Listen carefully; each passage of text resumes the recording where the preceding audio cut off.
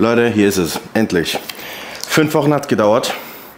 Aber wir haben jetzt alle Supplements. Peak hat alles aus Deutschland geschickt. Wir gehen heute mal gemeinsam durch, was ich für Supplements bestelle, warum und wie ich sie einsetze. Das wird also ein volles Supplement-Video. Beipackzettel, wir legen jetzt los. Viel Spaß, Attacke.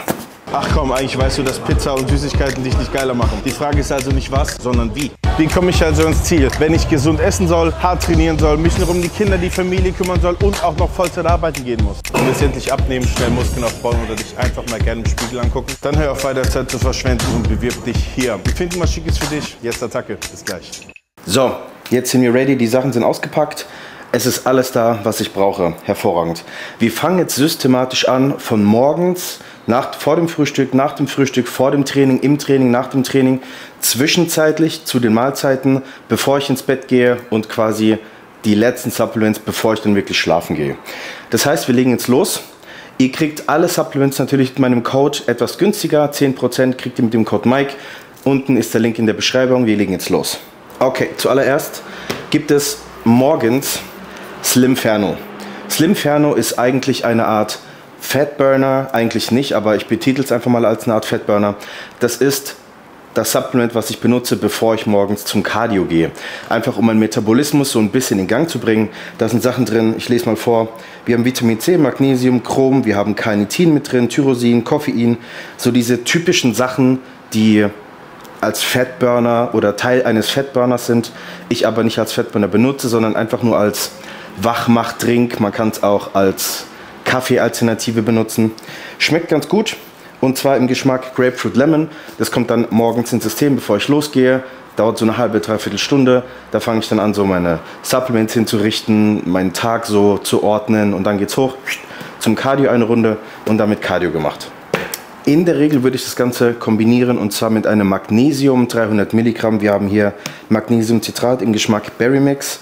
Magnesium werde ich wahrscheinlich zweimal am Tag benutzen. Auch wenn wir Magnesium in allen anderen Supplements haben, will ich hier wirklich sicher gehen, dass wir genügend Magnesium über den Tag verteilt haben. Ich rechne ungefähr mit 600 bis 700 Milligramm total über den Tag verteilt. Warum? Magnesium ist wohl mit eins der wichtigsten Mineralstoffe, die es gibt. Magnesium ist an 300 enzymatischen Stoffwechselreaktionen beteiligt.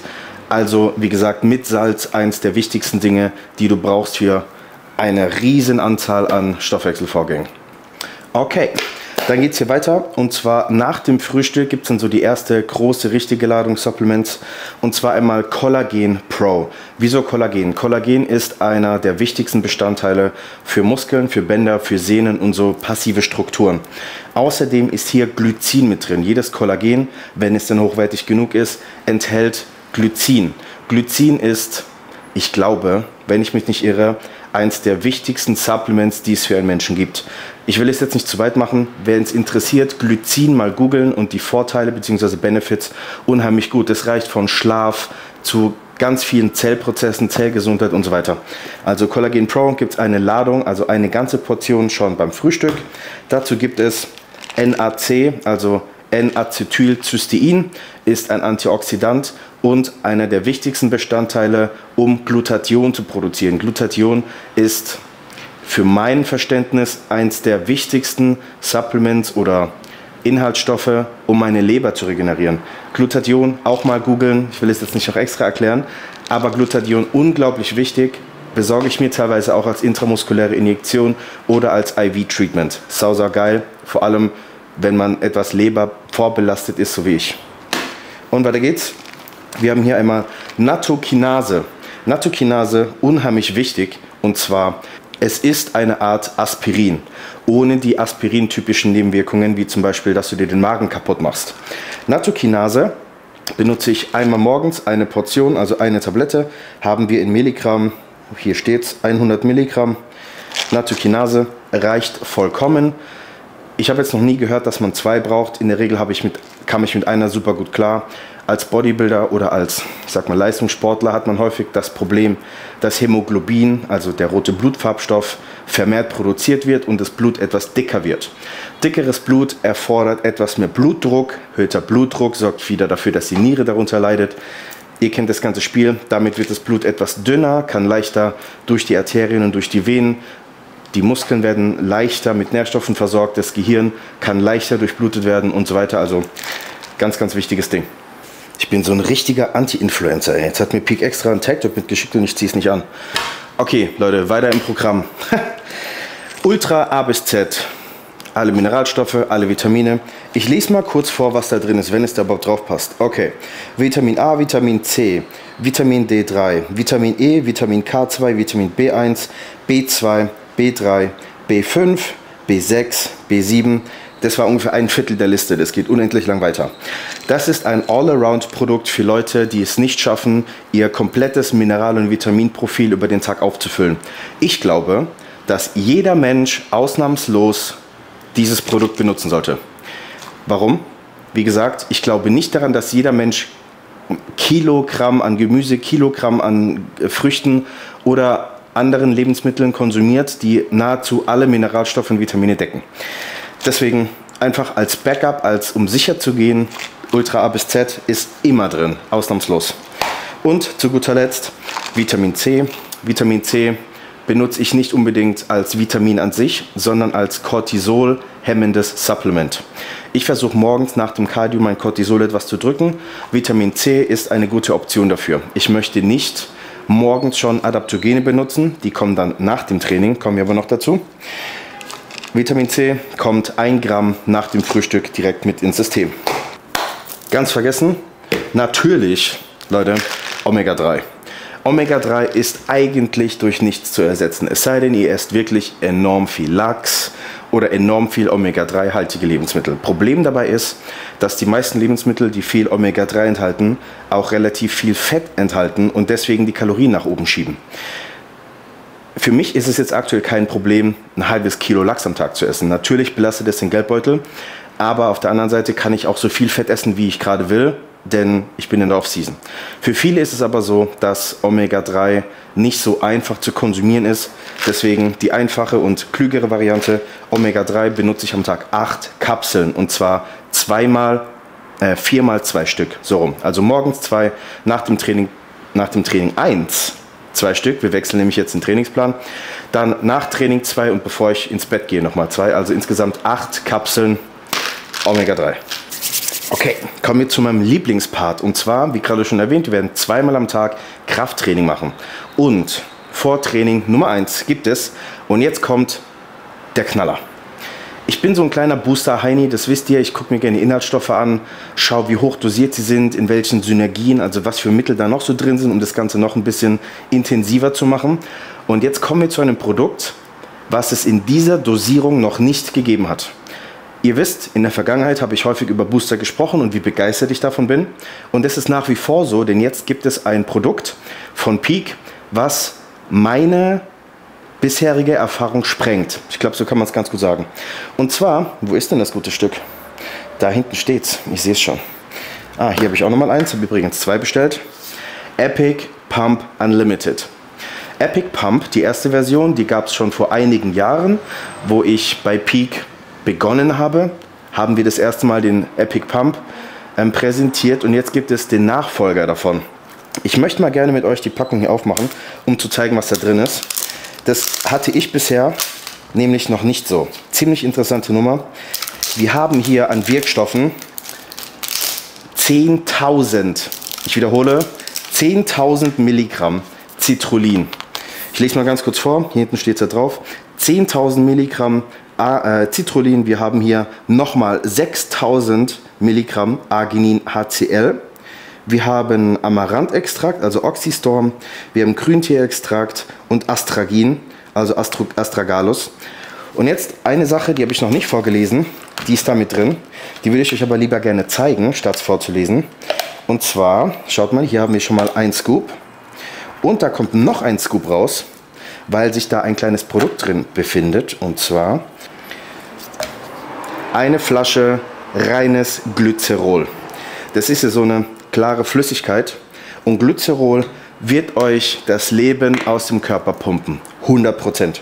Davon gibt es einen extra Scoop mit oben drauf plus diesen Pump Booster. Also nochmal, wir haben hier die höchste Dosierung an Pump Inhaltsstoffen, die ich bisher hatte, plus das Glycerol obendrauf.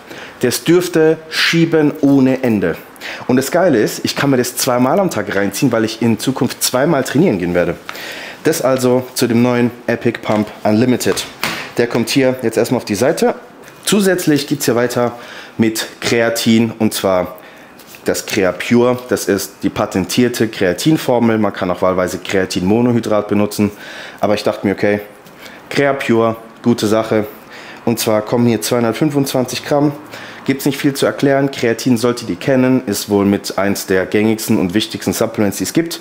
Gibt es zweimal am Tag 5 Gramm. Und zwar Pre-Workout, nicht Post-Workout.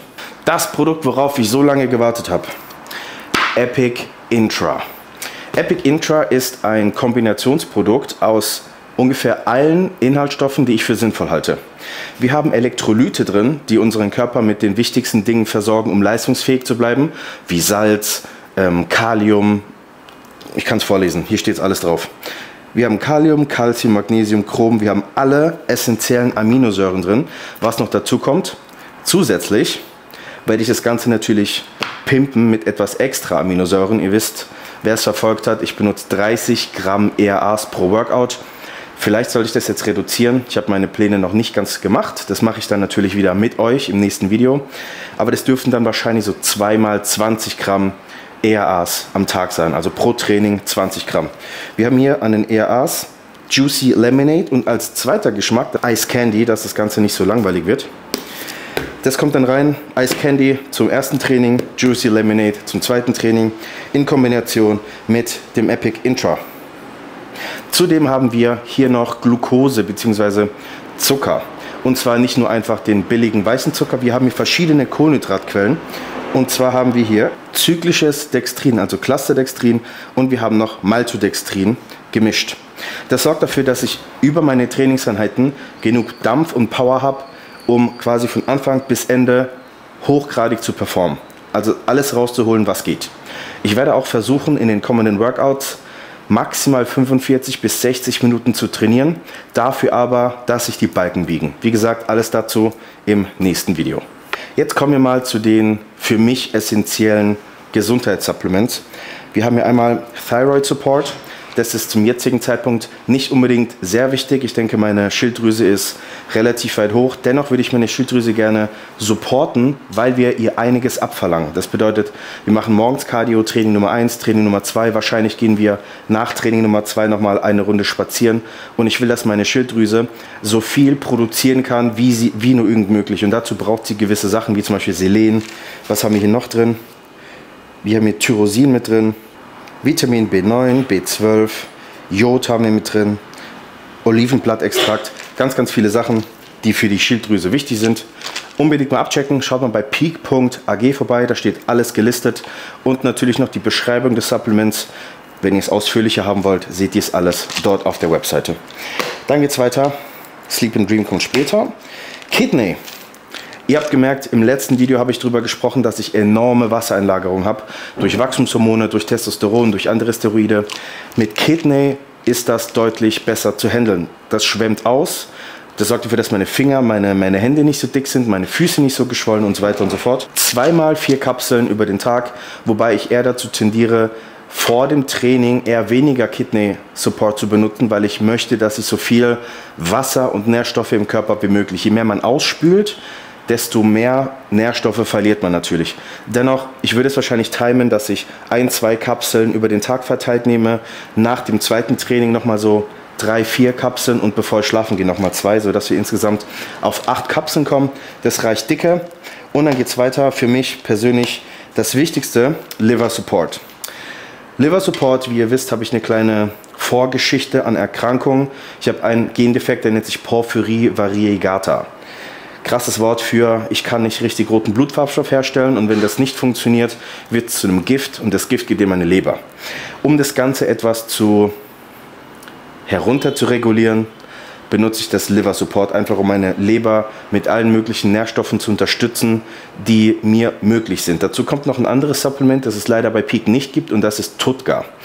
Tutga hat mir damals, glaube ich, das Leben gerettet. Von einem Leberwert von knapp 1000 ist er gefallen auf 120. Natürlich mit Lebersupplements wie Liver Support zusammen.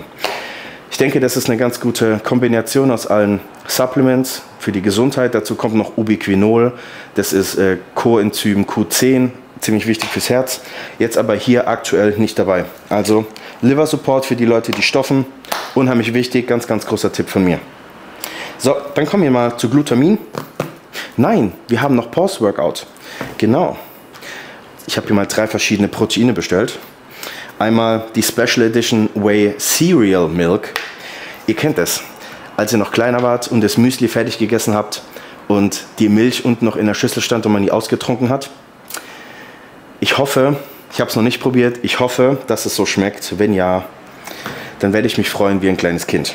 Also Whey Cereal Milk, gefolgt von meinem absoluten All-Time Favorite, Peanut Chocolate Chip. Ich bin absoluter Peanut-Fan, ich bin absoluter Schoko-Fan. Das ist das hier in einem Produkt. Und zu guter Letzt, das kenne ich noch aus der Vergangenheit, Hazel and Peanut Dream. Das schmeckt wie so eine Art Monte, wenn ihr noch kennt, den, das, diesen Monte-Joghurt oder so Haselnuss-Creme-mäßig. Super, super lecker. Das sind die drei Favoriten, die ich jetzt gewählt habe. Falls ihr noch weitere Geschmäcker oder Empfehlungen für Geschmäcker haben wollt, unbedingt Coco Schoko ausprobieren und das neue Hanuta, also Hazelnut Nougat. Schmeckt wie Hanuta, beziehungsweise so das Feedback der Leute, die es bisher gekauft haben. Ich hatte leider noch nicht das Glück, bei mir dauert die Lieferung immer vier Wochen. Also wer es probiert hat, unbedingt mal ein Feedback unten reinposten in die Kommentarbox, die gehört euch. Ich glaube, das schmeckt richtig, richtig geil. Und weiter geht's im Programm. Das kommt hier mal zur Seite. Glutamin, ganz vergessen, kommt natürlich morgens vor dem Frühstück rein und abends, bevor ich ins Bett gehe. Total 20 Gramm über den Tag. Ich habe jetzt, glaube ich, schon 5 Milliarden Mal über Glutamin gesprochen. Hilft, Magen-Darm zu stabilisieren, macht die Darmwand stabiler. Also es kommen mehr gute Sachen rein und weniger schlechte Sachen rein. Also es schützt den Darm, beziehungsweise es schützt davor, dass Gifte durch den Darm in den Körper kommen. Der Darm ist nämlich als Barriere gedacht, um die Toxine und die Gifte auszuleiten und nicht in den Körper zu schleusen. Wenn der Darm aber nicht richtig funktioniert, funktioniert dieses System nicht. Und wenn es nicht funktioniert, wird man häufiger krank, man hat Verdauungsprobleme und so weiter und so weiter. Glutamin, absolutes Basic, sollte jeder benutzen. Dann haben wir noch kleine Goodies. Flavor Powder für den Joghurt, für den Kaffee, für ganz viele Lebensmittel unheimlich geil und zwar Cookie Dough. Und wir haben hier noch Salted Caramel, meine zwei Favorites. Es gibt noch zehn weitere, richtig, richtig leckere. Das sind jetzt meine zwei Favorites. Die kommen abends in unseren Diabetes-Joghurt. Ihr wisst, in meinem Ernährungsplan haben wir abends 300 bis 500 Gramm Joghurt. Das wird sich jetzt verändern zu einem, zu einem größeren Joghurt. Aber nichtsdestotrotz, Flavor Powder darf nicht fehlen. Das macht den Joghurt um einiges, oder den Quark an eurer Stelle, um einiges erträglicher. Sehr, sehr lecker. Schuss Milch mit rein oder Sprudelwasser, dann wird es richtig schön fluffig. Ein, zwei Scoops davon, bombastisch. Und zu guter Letzt Digestive Enzymes. In meinem Fall ist es jetzt so, dass ich relativ große Mengen an Essen essen und auch noch verdauen muss. Es kommt nämlich nicht darauf an, was ich mir da oben in mein Kopfloch reinstecke, sondern was durch meinen Körper verdaut wird und welche Nährstoffe tatsächlich ankommen.